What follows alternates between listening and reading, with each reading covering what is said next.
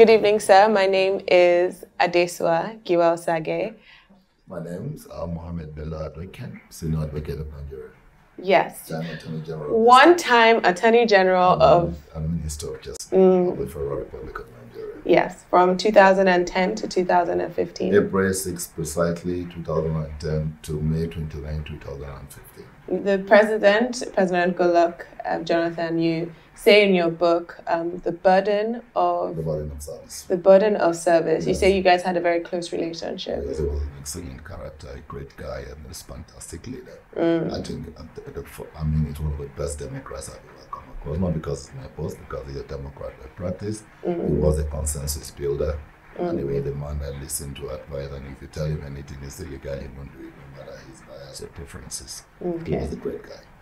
And or he is a great guy. he is a great guy. He's a great guy. Um, and is that closeness that you shared, is that why you were considered a very powerful Attorney General? I wouldn't say I was a powerful attorney general. I would say I was an effective attorney general.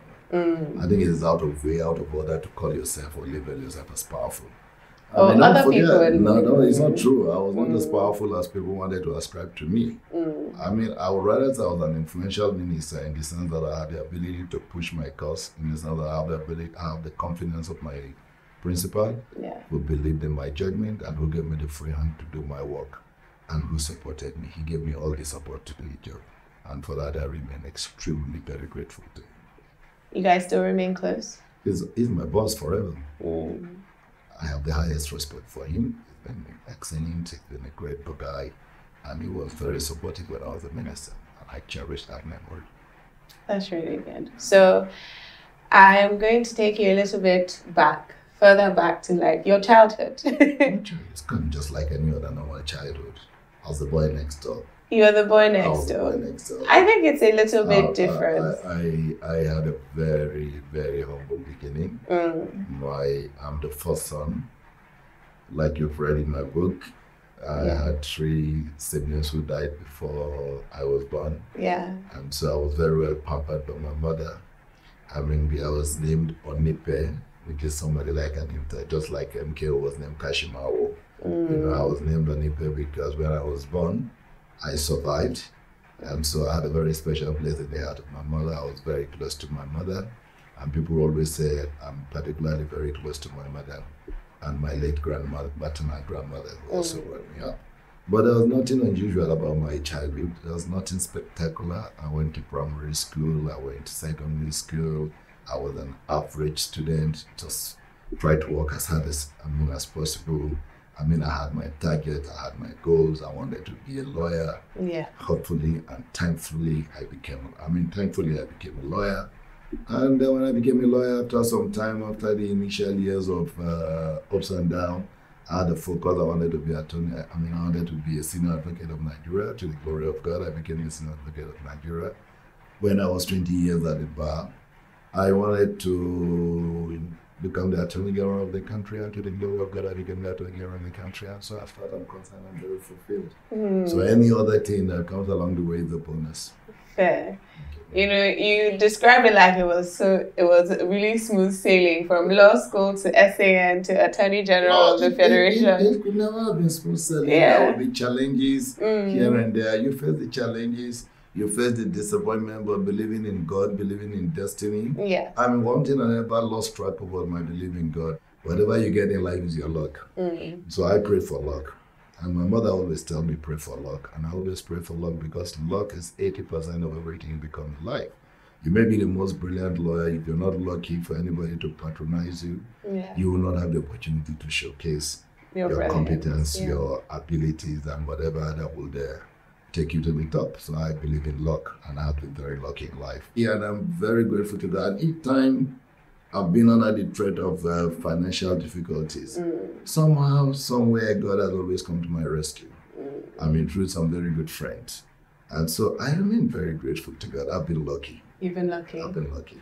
I wanted to ask actually because I remember reading in your book because I wanted to ask about your time in law school. My time in law school was a bit difficult. My time in law school was one of the worst times of my Well, my time in law school was a bit difficult, but it was also, it also inspired me to work very hard, to want to mm. get through, not to to, not to get a receipt, not to do mm. anything because I knew look, I was I was on a budget, and I know how difficult it was for my parents to raise money for me, even in the law school. All right, but it was quite interesting because you met a lot of interesting characters. You met a lot of good people. You Yeah. met a lot of bad guys. You met a lot. You met you met a mix of people. So when you're in law school in the seventies, right? Not only in the seventies, in the eighties. Sorry, in the eighties. Yeah, 85. You were born in sixty three. Yeah, that was Sorry. So you don't know so much about me. um, you're in law school. Was there no uh, dormitories at that point? No, no, no. The, the dormit, there was no dormitory for the male student at that time. Okay. Was only one dormitory which was at the Boshery and it was meant for the For the female for the students. female Okay. student. It was after we left that there were dormitories or Mm. cells. I mean, for all the students. Yeah. And uh, some the people that came after us were quite lucky. I mean, I came after you. I don't know if I describe my No, you are. my don't- law don't school experience as quite are lucky. generation. Um, I think the problems that we have because as attorney general, you you law school falls under your purview in some ways. You know, in some way, yes. You sit on in the- I, I don't sit on the Council of Legal uh, Education, but Okay.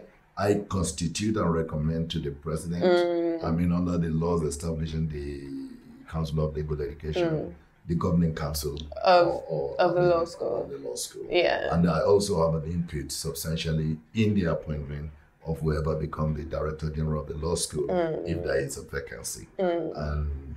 That's so, about yeah, and then I'm also a member of the body of Benchers. Yeah. As so I was a member of the body of Benchers as the attorney general at that time.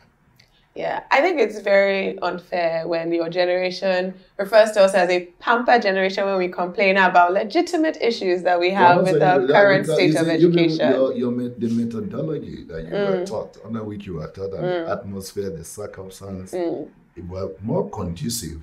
And For I- learning. Yeah, for learning. It were more, it were more conducive. We went through education the hard way, but then I admire your generation, very pampered. I wish I would belong to that generation. I I have to respectfully disagree. I have to respectfully disagree. I think you know the reason actually. I'm not saying you don't work hard. No, it's not not actually that. about my work. But, but. I'm saying that the atmosphere So that- is it very that- pampered? Very conducive atmosphere. Okay, let's use it. Let me withdraw the word pampered. No. Let me say you I have want a conducive. actually let me say conducive you- for learning. Let me say it was very conducive Let's for talk learning. about a conducive Yeah. environment. Okay, for look at it. Look at what happened during the time of uh, COVID. But when I disagree, what I Mm. mean is that um, I actually want to bring it home to a point you raised in your book, which I have this argument all the time with people who will be willing to argue with me on this topic, That's Which the one I want to is- argue with you. which is not no, but it is the importance Yeah. of strong institutions. yeah. Right. My problem with the Nigerian law school is, as you say, the conducive environment for learning. Right. Is that when your institutions are not so strong, um, you have bad eggs that become empowered by the lacunas, as you say. I have no doubt about that. And so then you then have a system which, you know, on my way here, I was actually just on the internet and I was looking at another lawyer who qualified before myself was talking about how every year he tries to talk to someone and his father was an attorney general of a state and he's like every year i try to talk to someone about the state of the nigerian law school because it will continue to Deteriorating. Yes, it is. Com- it is falling apart. No, I can I can agree with you because when I saw the Bayelsa campus of the Nigerian Law School, Mm, it was a, it was appalling. It was an eyesore, mm, and I felt that that's not conducive for learning. mm. And I'm happy that the immediate past governor of River State, um, His Excellency Governor Nyesom Wike, who is a good friend of mine, a brother, Yeah. I mean, has taken very progressive steps to help in reviving the infrastructural decay of the law school in Bayelsa, and he has also built an ultra modern law school faculty, I mean, uh, campus Harcourt. He also built courthouses. yeah, didn't yeah, he? with uh, with all the necessary facilities. Mm. I mean, to make it very conducive for learning. And I think if more public spirited people like him would come up to assist and to contribute and Yeah. their own quote, contribute their own quota to the development of our law school and ultimately to the process of amendment. I think that would be better for us. So I believe that a lot of people along the line would emulate. Yes. And if He I do have the opportunity to I will. You emulate? Emulate. you emulate um, former governor Nyesom Wike. You're Yeah. very good friends. Yeah, in, in terms of his infrastructural development and Okay. contribution to legal development in the country, in terms of it, is uh, making it conducive for learning. And also many Yes. members of the bar who are much, much richer than him that are not making such contribution. I think his effort should be commended. mm, Yes. I think um, yeah. Maybe I'm biased. The but t- he's my friend. I mean, he is your very good friend. He's my good friend. I don't, I intend, I don't intend to deny him. you know, no, I, I would not want you to do any such thing. Actually, you know, I was gonna ask you about friends in politics because in your book you name a lot of names, and you talk you talk about you know, for example, in your journey to become the attorney general, um, you have mentors who are helping you. You have to go back to your to Kogi State, right, and to see the governor of your state.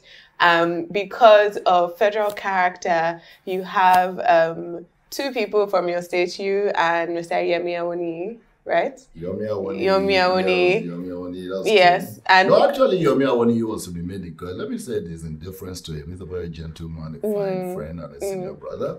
Yemi was actually the one slated for the ministerial slot in Kogi. He's been promised because the president had assumed, rightly or wrongly, that I was from uh, Benue State because of the person that was pushing, pushing my candidature to become attorney general.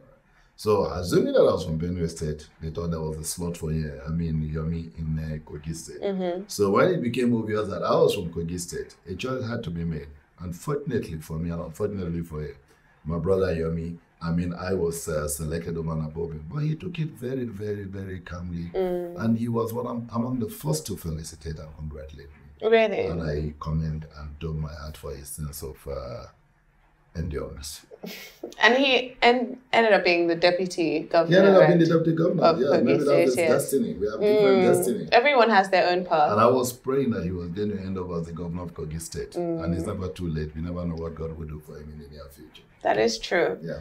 But um, you know, I wanted to ask you about that because you have a quote in your book that says loyalty to the nation is more important than loyalty to friends. Did I am I Very, missing? very, very right. Mm. I'll, I'll be loyal to the nation. I will ask this question in the National Assembly. Yeah. That in the event of a conflict between the president and the constitution, where would my allegiance lie? And I said, I know that my allegiance lie with the constitution because the crown. And that's the supreme will of the people. Okay. And that I will definitely side with the people. Yeah. I will tell the president that Mr. President, you are the, you are your own limits and you cannot exceed your limits. And I don't think that's anything to debate about. I don't think it's a question for anybody to even agitate over. That's fair. But I wanted to ask because, you know, right now we've been waiting for a ministerial list. Um, and there's a lot of politics involved. I think the average person is not aware of. Like, for example, in your book, you said um, because at that time Dr. Bukola Saraki was very popular, you know, amongst the governors. I think he was head of the governors forum at that Yeah, point in time. He was chairman of the governors forum He at that point in time. the Minister of Justice. And he didn't want you, yes. Because possibly for reason that he was uncomfortable with me, he didn't know me, and Mm-hmm. he felt that I might not serve his political interests. Mm. And there's nothing wrong with that. Today, it will surprise you or it will amaze you to know that myself Your and are a very good friend. Yeah. I respect him. Yeah. He's one of the emerging leaders of this country. He, we has served as the Senate president of this country, he has served as the governor, and he stands out well, irrespective of his political persecution. He remains one of the few political leaders in this country that have demonstrated in office capacity, competence, and I mean, in terms of uh, leadership. And I pray that in years to come, God may still smile at him. So you believe that um, the corruption allegations against him are, is political I've been, persecution? vic- I've been a victim of corruption allegations. Yes. by the immediate past government, mm-hmm. the most incompetent government we've ever seen in this country, run by the most incompetent president that this country has ever had and we will never have again, and run by, I mean, a set of political morons. So, if those are the people accusing us of corruption, then you better ask the question, how? I mean, it's emerging today the corruption allegations against this past government is emerging. Let's wait for a while and we'll see what will happen let's let's see what will come out of the Emefiele's uh, investigation. Let's see what will come out of the others that will still be investigated. Let's see what will come out about the Air Nigeria saga. Let's see what will come out about so many Paris Club saga and so many other sagas that have been there.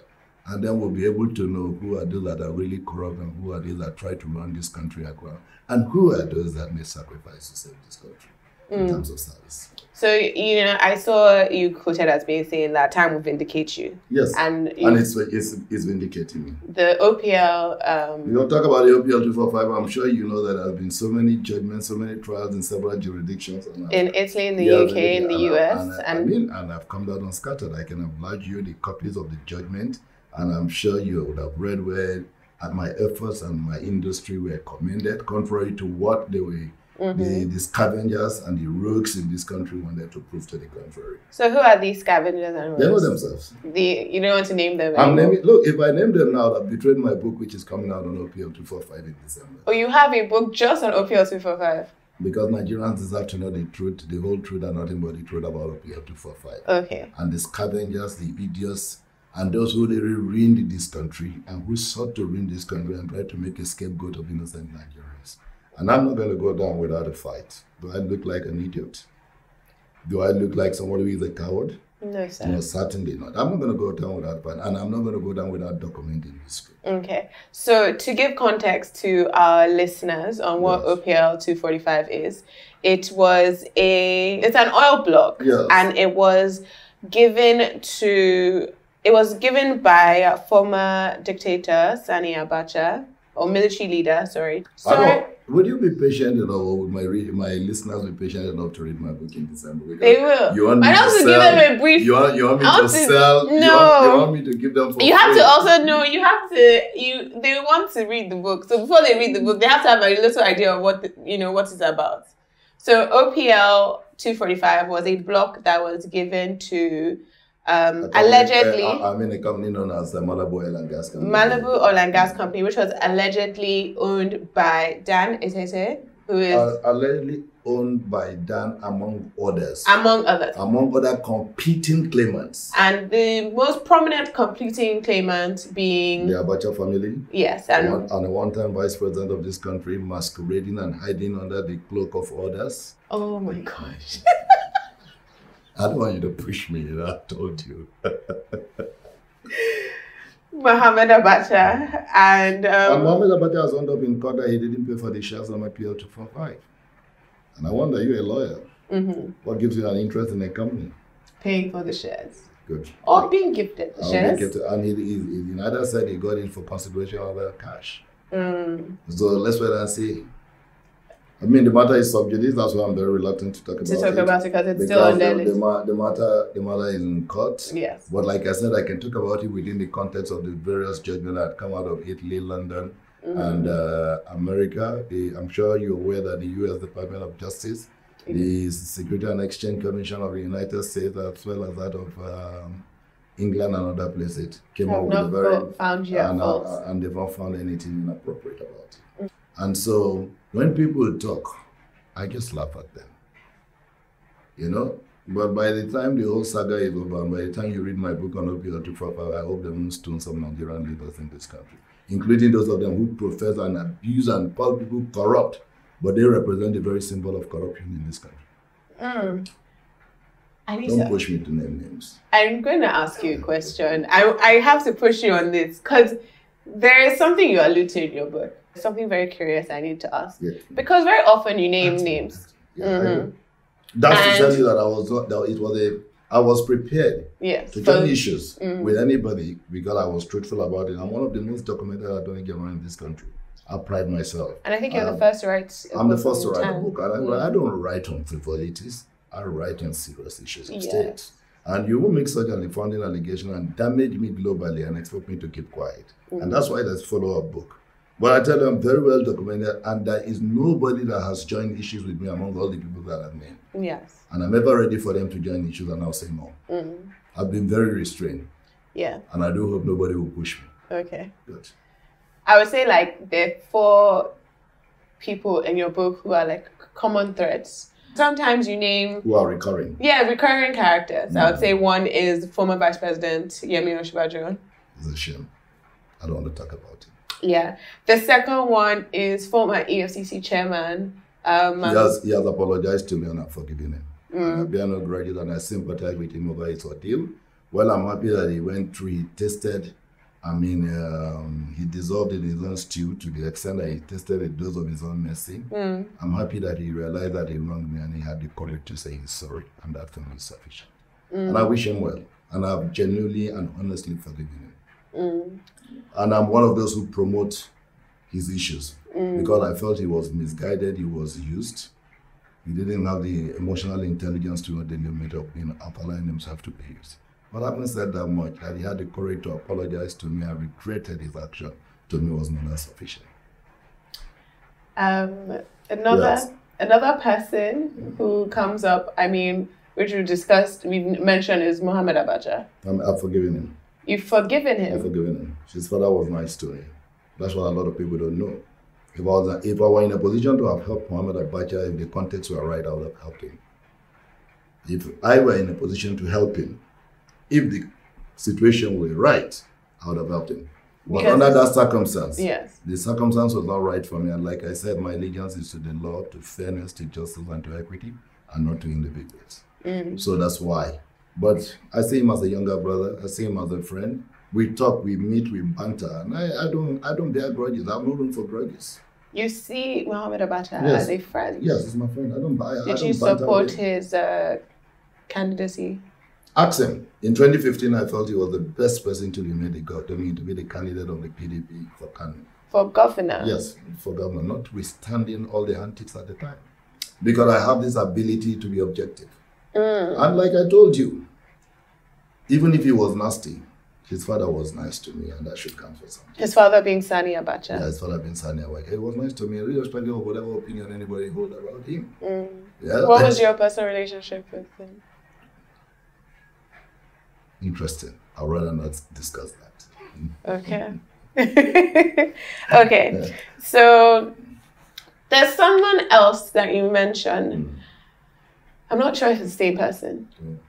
You talk about your run for attorney general. There are quite a few people who are trying to pull you down in Yes, order to. Huh? Right. There are quite a few.